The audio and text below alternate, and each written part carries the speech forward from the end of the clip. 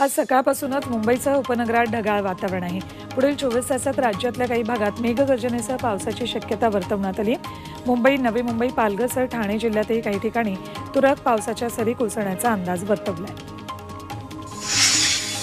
हिमाचल प्रदेशातील मनालीमध्ये जोरदार बर्फवृष्टी होती. रोहतांग भागातल्या अटल टनल पूर्ण बर्फात अडकल्या. घरं झाडं डोंगर पांढरे शुभ्र झाले रस्त्यावर बर्फाचा खत जमलाय. याचा वाहतुकीवर परिणाम झालाय. जम्मू काश्मीरच्या पूंछमध्ये अडकलेल्या सात ट्रेकर्सची सुखरूप सुटका केली आहे. या भागात जोरदार बर्फवृष्टी आणि हिमस्खलनाच्या घटना घडत आहेत मुघल रोड भागात सात ट्रेकर्स अडकल्याची माहिती प्रशासनाला मिळाली. रेस्क्यू टीमनं घटनास्थळी दाखल होत सुखरूप बाहेर काढलं.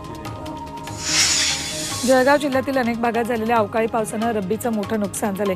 मदत आणि पुनर्वसन मंत्री अनिल पाटील यांनी नुकसानग्रस्त शेतीची पाहणी केली. तातडीनं पंचनामे करून शेतकऱ्यांना लवकरच नुकसान भरपाई देऊ असं आश्वासन त्यांनी अमृत नोनी आर्थो प्लस ये एक प्रूवन फॉर्मूला इसमें मौजूद नोनी फल के गुण और आयुर्वेदिक जड़ी बूटियाँ शरीर को जरूरी पोषक तत्व देने के साथ साथ हड्डियों और जोड़ों के घिसने उनमें होने वाले सूजन और दर्द को रोकने में मदद करता है। दर्द मुक्त जीवन के लिए अमृत नोनी ऑर्थो प्लस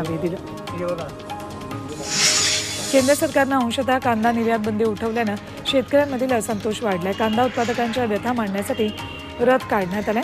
नाशिकच्या सटाणातून निघालेला हा रथ देवळा तालुक्यात पोहोचलाय.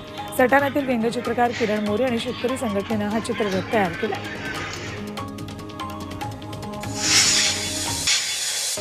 मुंबईमध्ये अंधेरीतल्या पूर्व पश्चिमेला जोडणारा गोपाळकृष्ण गोखले पुलाची एक मार्गिका वाहतुकीसाठी खुली केली. याच पुलाला जोडणारा बर्फीवाला पूल तांत्रिक चुकीमुळे रखडलाय. त्यामुळे मुंबईकरांना वाहतूक कोंडीचा सामना करावाच लागणार आहे.